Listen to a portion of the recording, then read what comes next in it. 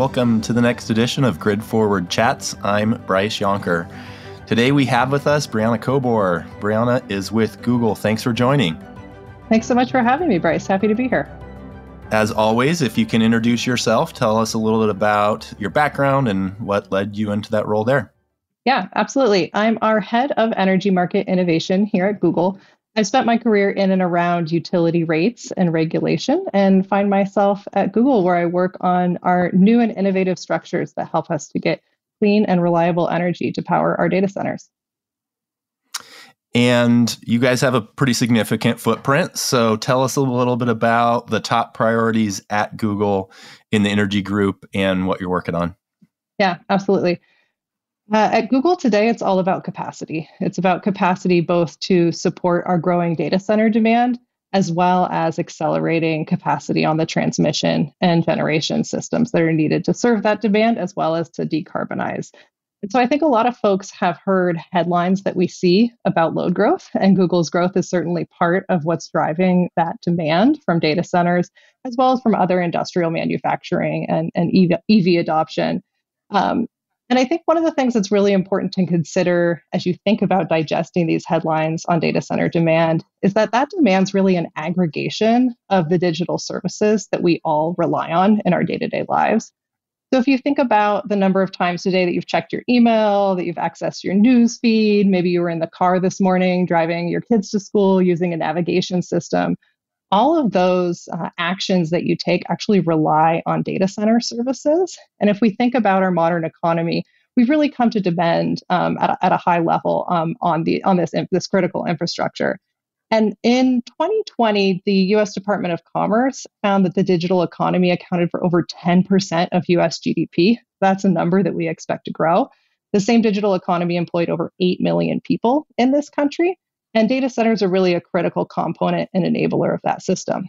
So then, as we think about Google and, and our work within that ecosystem, we think a lot about how to create the structures to ensure that our growing demand is really catalytic to what we need to see in the energy and ecosystem.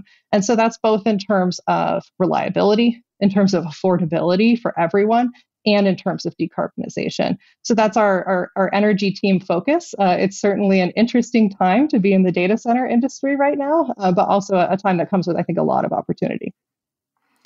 We won't linger too much here, but there's a lot of conversation about that load growth. Um, you know, figures talking about the forecasts and what those could look like, and the sort of impacts, and maybe the questions on how we're going to serve it.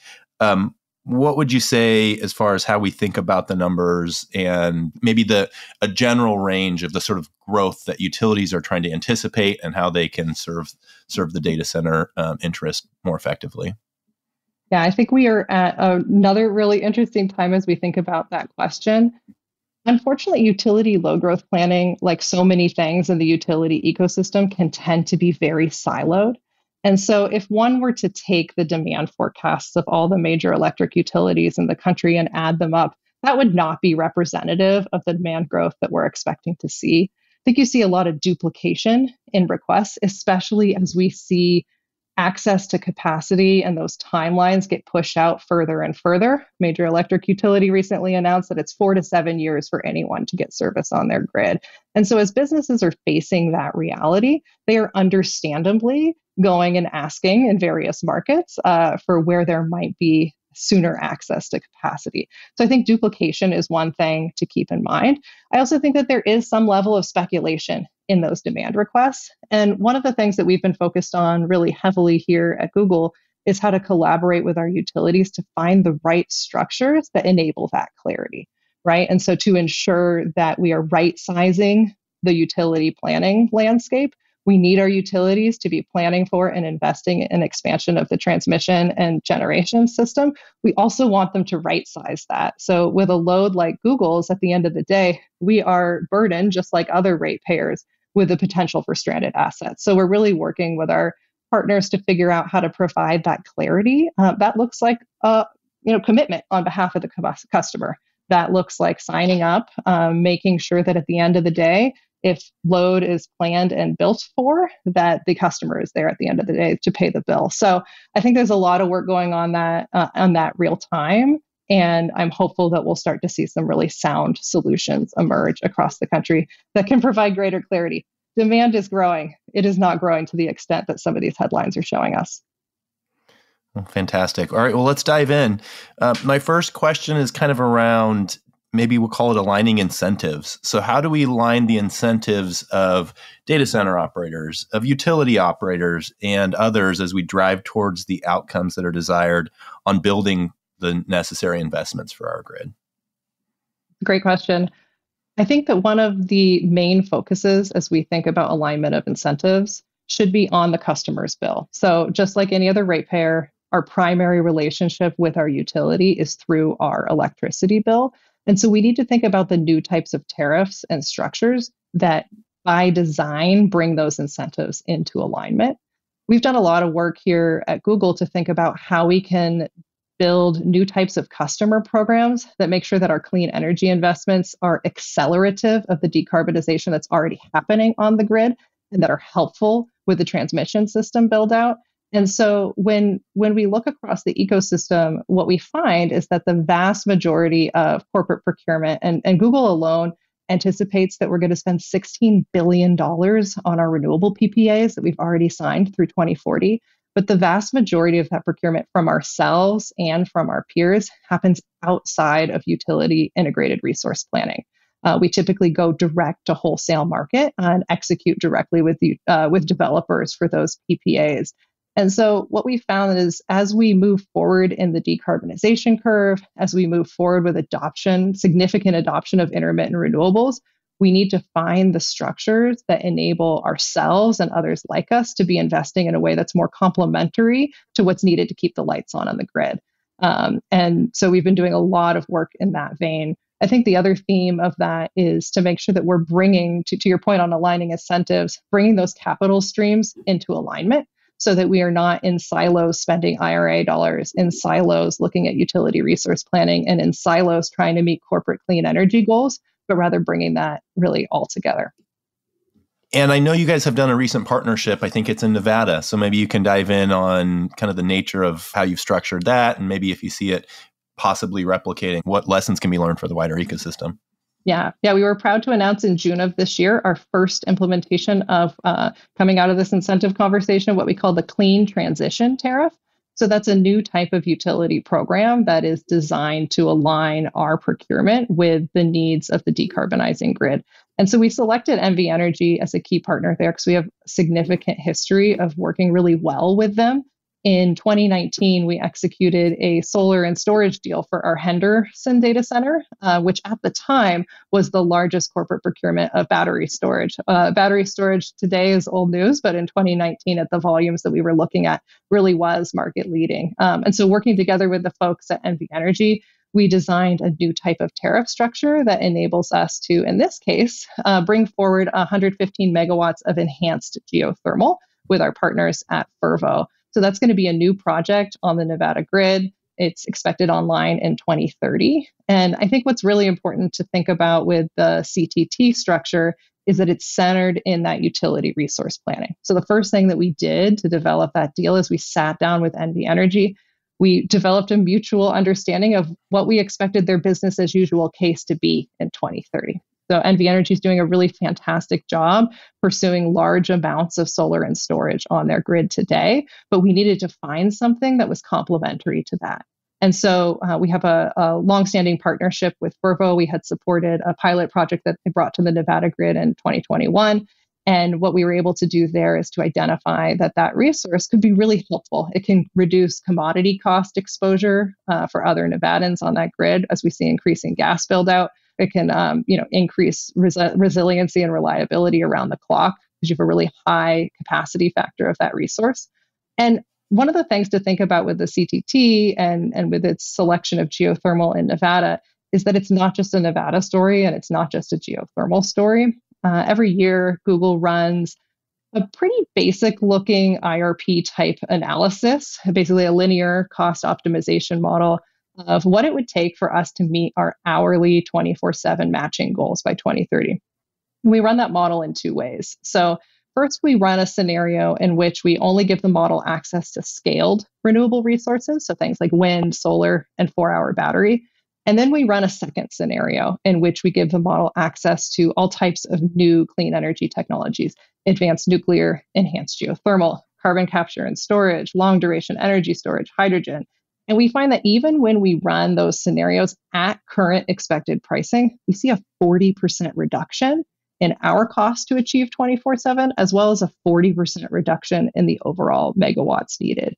So I think that really builds the case to accelerate development of these types of clean, firm, clean, dispatchable technologies. And so as we think about the CTT, we're really proud of the work that we've proposed in Nevada. It is pending in front of the Nevada Public Utilities Commission. And so uh, looking forward to having that conversation with the wide, you know, variety of stakeholders in that that ecosystem. We're really excited. We're really proud of that work.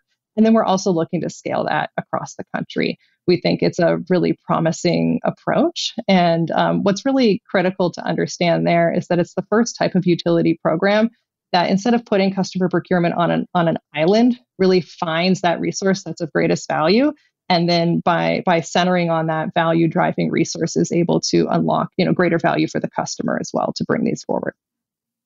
Well that example gives me a couple questions. We'll see if i can get more than one of them in before we go to some other topics. But one one is around how do you all show up in a community right when when google invests in a community there's a lot of expectations or or assumptions as to what Google's operations might look like related to, to energy. How are you all showing up uh, in these discussions and being, you know, constructive in the conversations? And how is the community wanting you all to show up? Yeah, I mean, great question. We try to be very intentional when we show up in a new community. At the end of the day, a data center is a large industrial facility. Folks really, you know, have a have a stake in that process and want to know what's what's showing up around the corner, how loud is it going to be you know how is it going to affect me um, and i think we're really intentional in communicating early and often with stakeholders and making sure that we're transparent in bringing that forward from an energy perspective which is where i spend most of my time we're also really proactive in state regulatory ecosystems we talk regularly with our consumer advocates in our states in which we operate to make sure that from an energy demand perspective, they also have the confidence that, that we're showing up. We absolutely all of the time desire to pay the full cost to serve us. We want to make sure that we're paying our fair share associated with use of the electric grid. And then when we go above and beyond, when we want to be pursuing clean energy options, we always want to make sure that we're fully covering any cost premium associated with doing so.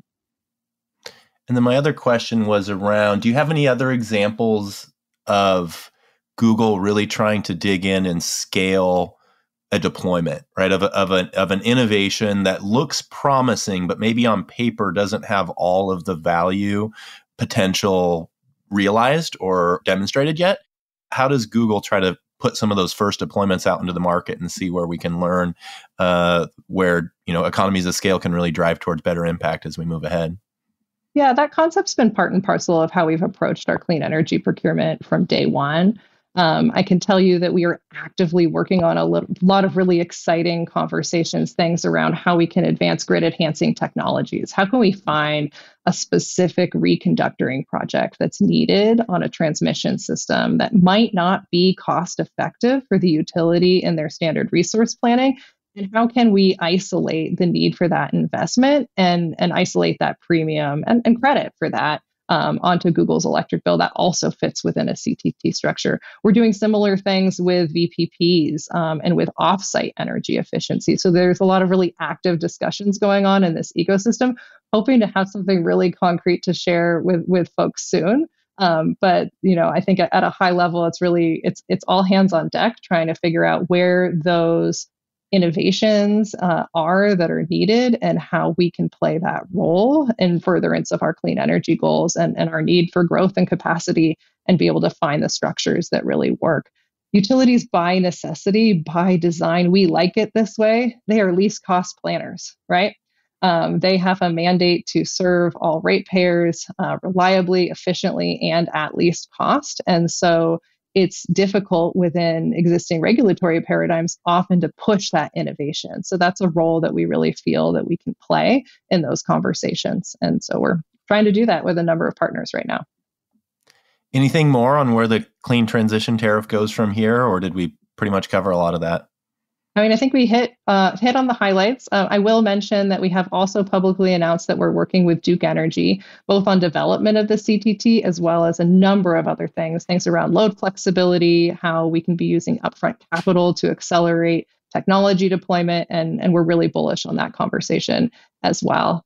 Um, I think that we've gotten a lot of interest since we announced the Nevada deal, and that just really shows that it's it's timely. Uh, it's a really important time in our decarbonization curve even before we start having the load growth conversation, but even more so today as we start seeing those demand numbers tick up to be making sure that we can be intentional with the types of generation capacity that are serving this growth.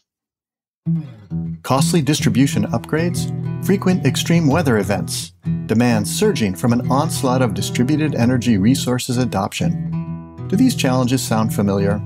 If so, you need Virtual Peaker's cloud based distributed energy platform we're empowering modern utilities with next generation virtual power plant solutions to maximize the value of DERs. The Virtual Peaker platform unifies all aspects of DER management, from DERMS to customer engagement and demand forecasting. Learn more at virtual-peaker.com.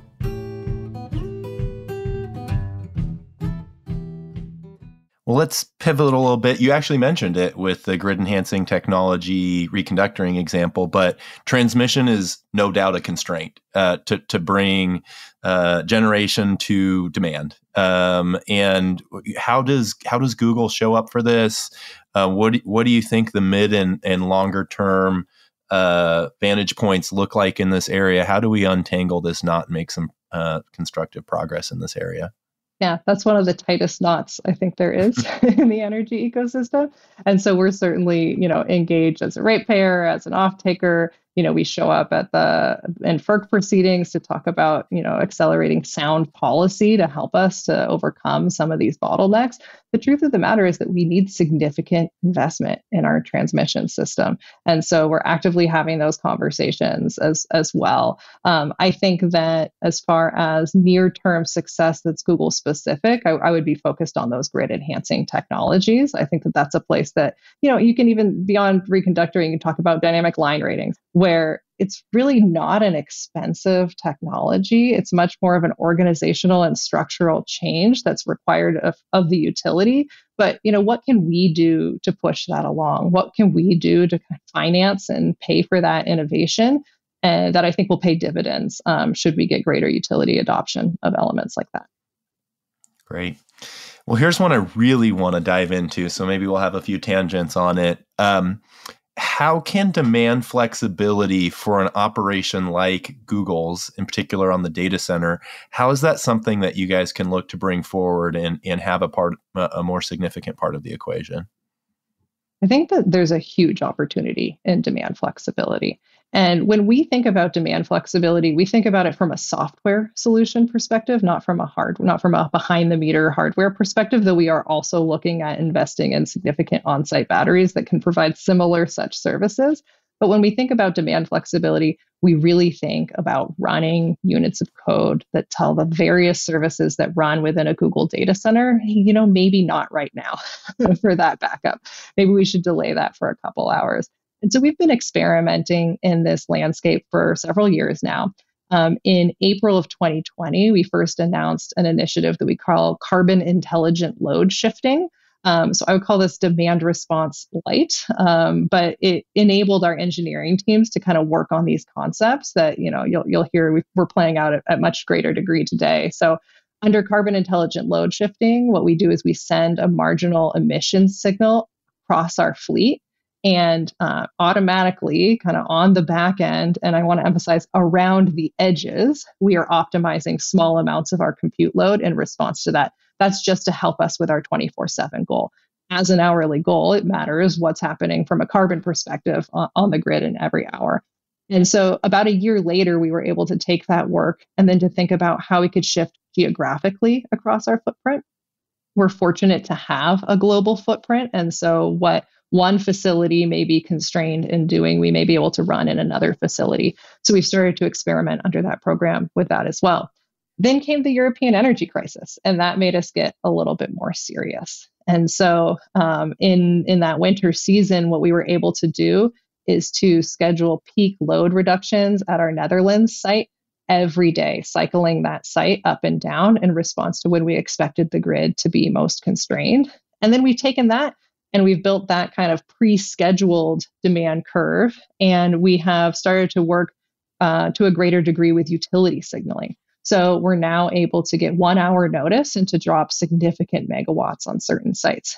I will caveat that that all depends on the types of services that are running in the data center and that Google's ability to do this may not be indicative of what every data center could be able to provide. And so when you think about a Google data center, we both run our internal products, things like Maps, Search, Gmail, YouTube, as well as cloud products, which are products for other end use customers and you know in their enterprise applications that they rely on. And so when we think about demand flexibility, we're always ramping down our own business before we're asking you to ramp down your business. And so we have a significant amount of that footprint that we're able to take that risk and that responsibility on. But if you think across the data center ecosystem, there are a number of providers that are that are full cloud locations. And so their ability to do this kind of work may be more limited. That said, I think it's something that has huge promise. Um, and everywhere that we operate, everywhere, especially that we're growing, right? We're hitting constraints, to your point, on the transmission system. We're trying to engage with our utilities to have the conversation about well, when are those constraints? Really, how many hours of a year do we expect to be experiencing those? And what might we be able to do to provide that flexibility and response? And if you can think about, you know, you rewind about 10 years, high load factor end use was really desirable for a lot of obvious reasons. Well, let's tweak that. Let's make it high load factor but flexible end use. And I think you can see the value um, that there is in pursuing that and if this is sensitive, answer it however you'd like. But are we talking about one or two percent, ten or twenty percent, fifty plus percent? I mean, how much flexibility do you think a lot of these facilities have? It totally depends on the site, um, but double-digit percentages uh, are are something that we're working with across our fleet. Great, and you mentioned a lot about signaling, which is how I would start. But past signaling, are you getting incentives to to flex a, to flex this load from either your grid operators, your your partner providers, or how does this work to make to make it worth your time to do something like that? Yeah, like any industrial customer, the first thing that our engineers will tell you is that they would much rather run their business and produce their product than they would to turn it off in response to an electric signal that they don't fundamentally understand. Um, and so it's certainly something you know that does have a cost to Google uh, to be able to run these resources. And so being able to provide those economic structures to incentivize that is really helpful. We are also in a situation with what we're able to provide doesn't fit cleanly into existing demand response programs and so that's conversations that we're having we're having at the RTO level and with individual utilities. So we've started rolling this out um, in Oregon and in Nebraska, um, as well as in Tennessee. And so in all of those instances, we've been in very close communication with our utility to make sure that there's something that makes sense for everyone. As we see greater adoption, it's our hope that we can start to see those models in the market emerge that can enable, I think, more nimble deployment of this resource. Well, that's a conversation I'd love to keep having. I'm excited to see you all working actively in it.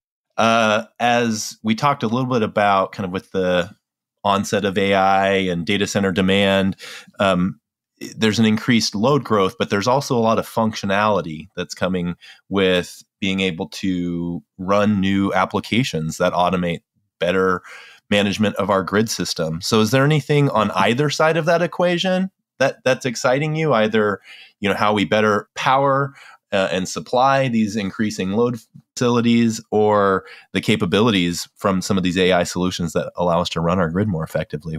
Yeah, I think we're just scratching the surface. And I think there's just a massive promise of AI innovation and how that can help not only in the energy ecosystem, but in so many different facets of our life. I think when we think about energy, uh, weather forecasting, uh, algorithms that help us predict on a really granular level. When you think about like public safety shutoffs, when you think about wind patterns, when you think about wildfire both you know mitigation and and real-time risk assessment i think there's just a massive opportunity for us to innovate there. And talking with utility leadership over over the summer i keep hearing you know the same stories we didn't used to have a meteorologist on staff. Now we have meteorologists right? So let's give them the best possible tools that enable them to be operating the system safely and reliably. And I think that there's a huge promise for AI to play a part in that. In the broader climate perspective, there's also just massive opportunity. We were able, with Google's models, to run um, a predictive you know uh, algorithm to say when an airplane was going to create a contrail for example contrails are remarkably a major driver of global warming and by changing flight patterns ever so slightly in response to this ai uh, signal we were able to hugely reduce the global warming um, emissions coming out of those, you know, airplane contrails um, through a partnership we had with American Airlines. So that's just like one of many, many examples um, that our teams are really working on in real time. And so really excited to, to learn more from what they're able to discover. Great. Slightly different question, but it's similar. Uh, Google is an infrastructure company, but at your core, the culture of innovation has always been there. And that culture of innovation, I, I, think a lot of folks can argue, really isn't as present in the utility ecosystem. But what are you all learning? What are you sharing? Where do you see that culture of innovation going with so much change in the energy landscape right now? Yeah, I think it's a great question. Um, and some people believe we're an infrastructure company, some people do not. Uh, at, at the end of the day, you know, uh, the internet runs out of data centers, which are large boxy industrial facilities, right? And so when we think about innovation and we think about, you know, the opportunity, I would say that we're really fortunate that what's driving this increase in demand are these companies that can play that leadership role and have that stated desire to really put their hand forward and, and to innovate there. And, and I don't think that we should underestimate what that opportunity provides us. And I think that we always need to make sure that we are maintaining the really important role of the utility. Um, our utilities are not known for cutting edge innovation. And again, that's how we want the ecosystem. We want to maintain reliability, we want to maintain cost effectiveness. And then we want to find those models that that enable us to innovate together or for, for them to support innovation, you know, that we can push forward. Um, but I, I think that we're learning in real time kind of how we're stretching that system. And so out of great necessity, you know, should come should come great opportunity. All right, our last question. Uh, two sides of this coin. So usually start on the negative so we can end on the positive. Uh, w- what are you more uh, most worried about these days when you think about the the areas that are in motion in the wider energy ecosystem, and what are you so excited about? What keeps me up at night is timing. Um, and so we just have this situation in which we have um, accelerated demand curve that is meeting the need for new technologies that are not quite ready to meet that demand cleanly. And so I just think it is so important that we're resourcing to every extent possible acceleration, things like long duration energy storage, things like carbon capture and storage, things like hydrogen deployment. And you know, a lot of these technologies exist. We've seen huge promises from developers, from pilot scale um, types of resources, but we really need to push forward and get serious about investment. And so that's also, you know, uh, obviously what excites me is I think there's just a huge opportunity to have an impact. We need to find those structures, we need to find those markets, we need to find those utility partners that enable us to push that forward. Um, but we really, uh, we, we really don't have a lot of time, uh, and we need to be moving as quickly as possible. Well, Briana, thank you for being on. Uh, such great examples of where you guys are leaning in. So much to learn for the wider ecosystem. Thanks for taking the time with us. Thanks so much, Bryce. My pleasure. Thanks again to our season sponsor, Virtual Peaker. If you enjoy Grid Forward chats, please follow us on your favorite podcast platform, give us a like or a review, and tell your colleagues. You can listen to all episodes and learn more about our efforts to advance the grid at gridforward.org.